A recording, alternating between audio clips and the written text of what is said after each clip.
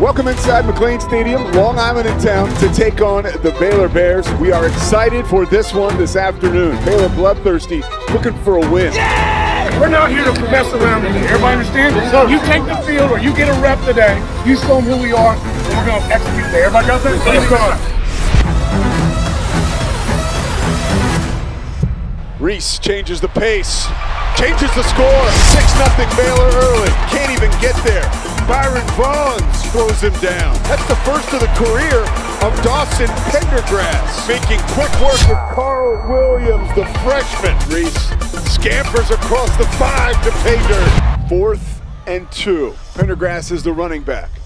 Play fake. Robertson. He's got Dabney. He's got six. Baylor now up 30 to 7. Hard attempt from Michael Cooney is blocked and scooped up on the fly. Great big win today, good. They still got to go out here and compete with the brothers, man. Oh, what better can you ask for to come do it like this?